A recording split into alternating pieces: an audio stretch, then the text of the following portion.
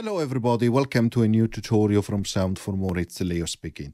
Today I have the pleasure to introduce you to a fantastic 100% free pan modulator and plugin for uh, um, iOS and also for uh, Mac and Windows platform. I'm demonstrating the product inside uh, iOS as a platform and I'm going to host it as a, an AUV3 instance inside AUM. Before I continue, I would like to remind my viewers to subscribe as it helps with growing the channel. Thank you very much. Okay, as I said, we are inside AUM. We have two channels. We have a MIDI channel with chord pads, um, which allow us to play some chords, some just a basic for uh, progression chords, nothing really special on that, which is linked to this electric vintage uh, nice synth instrument from Apesoft. So we have uh, now Panflow connected here, but let's listen first to what we have without the Pan modulator active.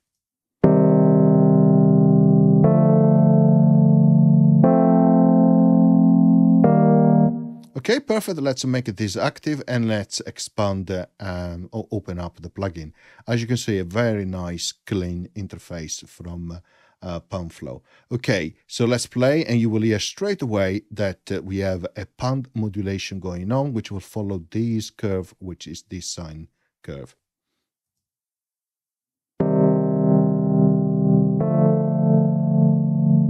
And hopefully you have uh, headphones with you because I really recommend uh, to use some of those to hear uh, properly the pan effect. So let's start from the top. We have uh, the setting for the bit per minute tempo, and we have also a sync, a sync to the host, which you can, you can disable and therefore change your bit per minute as you like. Then we have the selection of preset here. You click on it and you go to a screen which will show you the presets that you create. You click on the X to exit, then you can go to the previous preset with this arrow or to the next preset with this arrow. You can load a preset, you can save a preset. And then you have undo and redo as well. You have also the ability to send MIDI output, which is really interesting. You set the uh, channel output here, set it to on, select the CC message, and then, of course, if you want these, let me show you on the CC message. If you want these Omni, okay, or not. And then, of course, it will send um, MIDI CC message following that uh, curve that has been established on the main application, so on the main screen. So let's click on MIDI out to exit again, and this is the curve which I was referring to. Okay, and let me demonstrate that uh, straight away. So let's, for example, create an audio channel. Let's uh, load something like, um, why not, red um, strike. Let's connect that to um, um, Panflow like so. Okay. Then uh, let's set Panflow to send out MIDI messages. CC, why not? Let's scroll down to um, 30 like so. Um, Omni, that's fine. Um, for now, let's click uh, um, like so. Let's click play now. Let's go to Red Strike. Let's mute these for now. Let's open Red Strike here. Let's go on MIDI Learn. Let's go to the cutoff here. And you can see now that um, the cutoff is being modulated up and down according to the curvature, which is uh, established inside Panflow here, which is the sine curve. Okay, so hopefully that explains how to use MIDI um, output. Okay, you can clear the mapping, of course, if you need to do, um, so sorry, I was in MIDI learn mode. And you can deactivate it like so. Okay, perfect. Next, we have a, a MIDI learn option as well. Okay, which uh, is really nice in terms of uh, um, giving you the options to map uh, um, your controls inside Panflow. You have also settings here which allows you to set, for example, um, OCCs um, for different activities that you can control within Panflow. So you can say when you run the global dice, you do that through CC1, okay, which then allows you to control Panflow from an external controller. Okay, so, and then we have the I here as in, uh, oops, information, which will give you access to the manual, the videos, etc., etc. Okay, click on the screen to exit. Okay, so you have a bunch of controls here in the middle, and then you have also this uh, section of the screen where you can establish the, um, the curve that you want uh, to influence your left and right channel. We move uh, between the different channel. At the bottom here, you have a preset. So when you establish one pre one curvature that you like, you click on the preset and you will establish a new preset. You see here the name, quick preset, and it will be assigned to this slot, slot number one. And indeed, if you click up here on the preset, you see the name here, which you can also change, and the slot which has been associated. And of course, you can delete uh, the preset as well. Now, if you click on the reset button, you delete that uh, curve, and it's very easy to add new points like so okay and you can click and drag and drop. Sorry click and drag. Okay so it's very easy to create a new curvature. And then of course click play. Oops and let's uh, unmute this. Okay let's go back to Panflow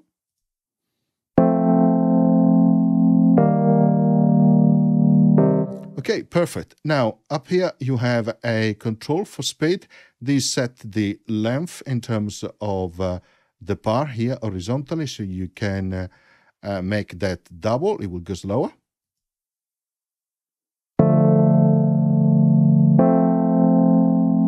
Of course, you can half the that uh, um, bar in terms of length, and therefore the speed will increase.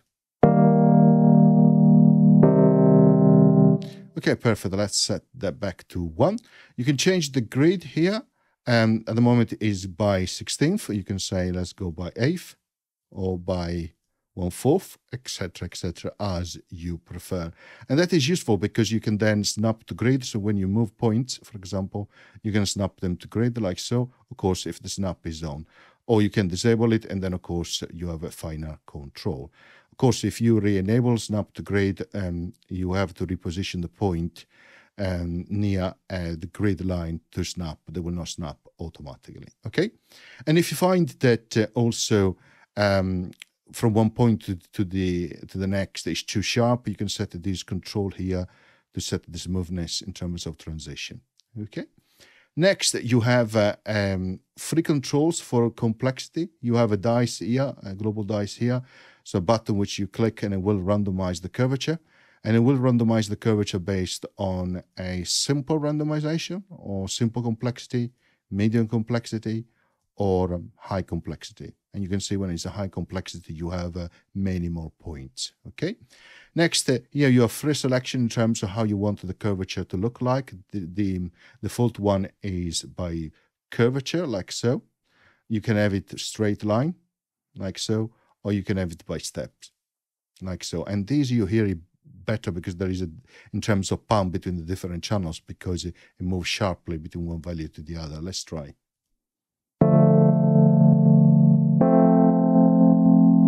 Okay, next here you have the infinity control. So if you activate that, every time it finishes to go through a measure, it will randomize automatically.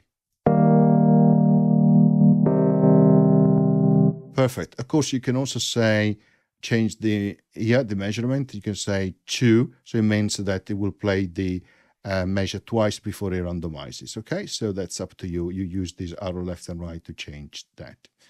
Below you have a bypass. You have a bypass by latch for the effect, or you also have a temporary bypass. So you hold, and as you hold, as you keep holding that button, it will bypass the module. And of course, as you let go, it will not bypass the module anymore. Let's try.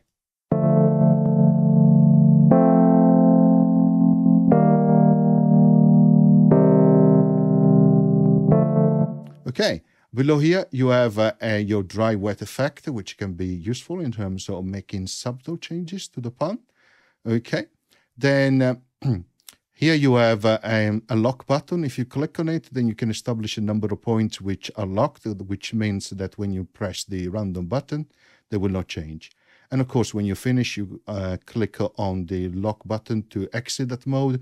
And if, if you, you want to reset the points which have been locked to be unlocked, you click here on the reset icon. Next, you have three icons here, which uh, gives you some standard waveforms. So a sine, square, and a saw as well. Okay, next here on the left-hand side, you have a threshold. So you can establish at which point the pan effect will kick in based on going over this threshold. Okay. And then on the right hand side here, you can establish um, effectively limit up and down as well. Okay. Uh, the interesting part um, on using this control, this limiter, is that if you have something like a curvature like that, look look what happens. You just crop the values as you move down, the same as you move up here. Okay. Of course, if you don't want to crop the values, where you want to move up and down or left to right channel, just click this button here. And then as you move here, clicking in the middle, you can see, um, and, and also up here, you see you don't crop any value. Of course, disable that. And of course, you can readjust the values and also you can drag from the center like this. But remember, it will crop the value, the values if this option is not active. You have also some standard here um, uh, level in terms of clicking 100, 75, 80, etc., which might be useful in terms of quick changes. And also, lastly, you can also set them a, a boundaries really horizontally in terms of steps. So you can say play only between this step to this step.